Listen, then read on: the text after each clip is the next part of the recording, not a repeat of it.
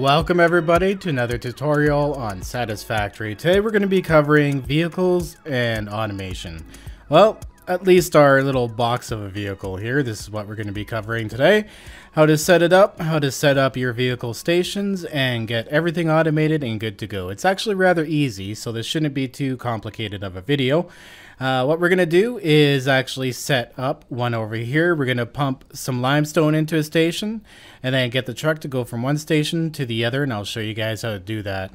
Uh, now, I do have to fix this one myself here because I kind of messed it up at the end, but that was a good learning lesson. I'll show you guys what not to do as well when setting up the, uh, the track that the truck goes along. Now, first things first, you want to make sure that you've gotten yourself to tier 3 and that you've done your coal power mines milestone. Once you have that done, it gives you the tractor and the truck and also coal and a coal generator. Now, normally the first place you want to set this up is a coal generator. You can add extra stops to it as you go along, so you can actually fill up several different places with one truck because even over here, where we look where the truck drops off, uh, this thing really doesn't use the coal at full blast. So even having this powering 6 is way more than good enough. And this thing stays pretty full. It doesn't empty the truck every time. So I could actually make another coal depository over there and have it feed into here, which would be much more useful than just building a, a random one I'm going to tear down. So that's what we're going to do today then. I'm going to build another truck, truck stop over here and we'll go over the basics then later on in my Let's Play, I'll tie it into there so we have more power. Uh, that way I'm not splitting off too much coal, and it looks cool too, having a couple extra stops. So I think my best option, uh, what you want to do is you want to take your truck station, Normally you're starting out by coal, so you want to get your coal going and uh, your coal factory. Just build a coal plant over there and get everything cycled so that it's producing coal and then you can get it going into your truck station. Because you need one station that can fuel the truck every single time it goes around because it needs fuel and coal is a fuel. Now if you have something at home that you can constantly feed it with, uh, go ahead and do that. But this one's picking up coal and it's being fueled there. So the most important thing I always say is put down the foundation first and then build on that because with foundations you can snap to things and it doesn't get in the way. Now this truck path is actually in the way itself. We're going to end up building this thing um, out here, but I wanted to line up with my buildings. So I'm going to just bring it out like this and then get it built. You can build this platform any size you want. I, um, I think I'm going to build it about three or four wide back and bring it out this way so that the truck drives out here and then makes a stop at the second one. And we'll go uh, we'll go backwards here. Ugh, I can't interrupt the truck. All right, so I've got my platform together. I like to go with just a basic uh, ramp up. This will be the loading area here, and then I can actually put the station here. Now, where you'll find this, you'll unlock a menu called Vehicles, and then, of course, you have your vehicle. We'll make that in a bit. And then you have your truck station. Now the truck station, you're going to need five rotors and 10 frames and 25 cables. Keep that in mind uh, before you go to build this. If you try to drive off to like your where your coal is, make sure you bring enough stuff to build this. What I usually do is stuff the back of the truck full with random building supplies. That way when I get over there, I build a personal storage, flip it all in the personal storage, and then I have some stuff sitting over there for repairs and expansions as I need it. But we're going to choose a truck here. Uh, now if you take a quick look, this little box is where it'll actually unload the truck. So that's where the arm will come down. And you want the arrows to be coming in the back, just like that. There we go. Let that sucker build. And bang, look at that, truck station. So it'll come up here. You can tell the program it to come up here. This will grab it, throw it into here, and you'll be good to go. Uh, now, with this, you have three different inputs. Uh, one is an in, and one is an out, and you have the fuel here. So let's say this is a coal where you have coal coming out. You actually want to put the coal going into here and it'll auto refuel the truck um, with that fuel. So the next thing I want to do is, I know this is going to be a loading or unloading station. You have to select it. That one there is unloading. Uh, the one over there is loading it up and this one here is unloading it. So we want this one to unload it too, because of course we're not throwing anything into it. So it's already on unloading. There we are. Okay, so we're gonna do our truck pathing actually right from the original source where it picks up the coal here.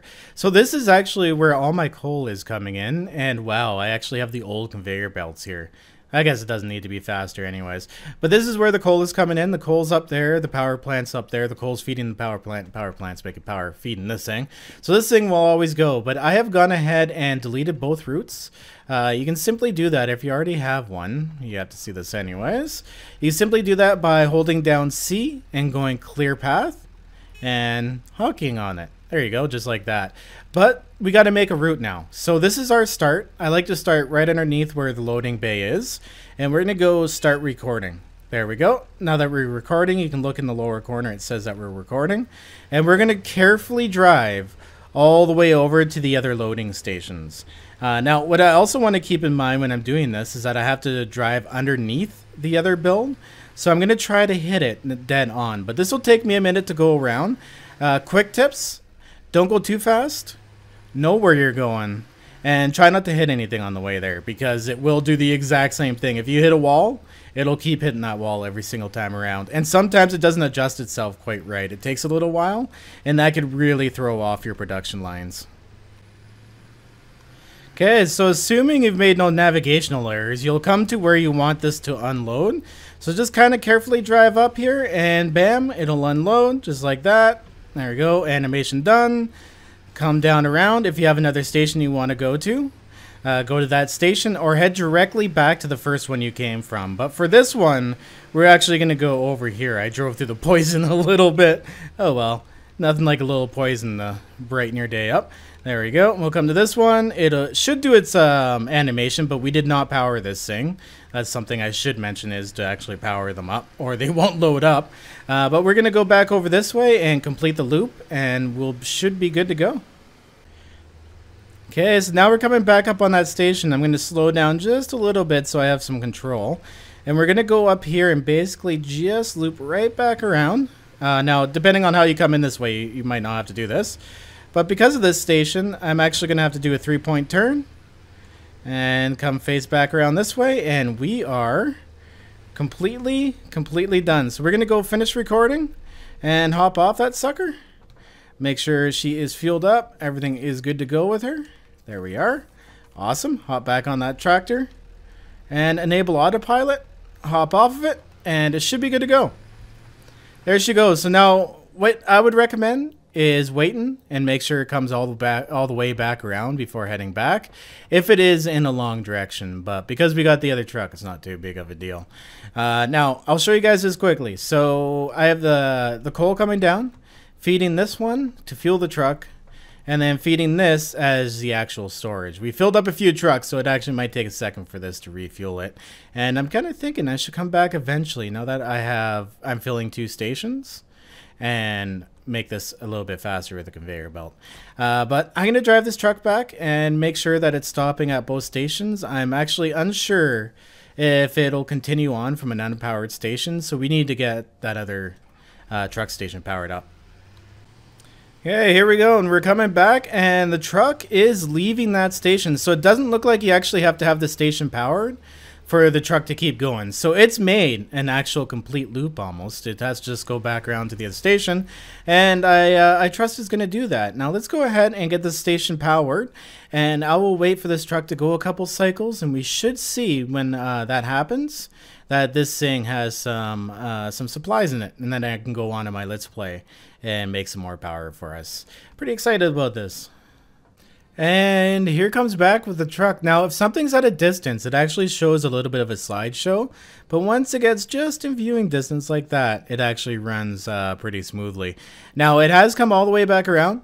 So if we take a quick look at this, this should effortlessly, effortlessly head up to the other one and hopefully I nailed it under here so that when I do build the power station it's not too big of a hole.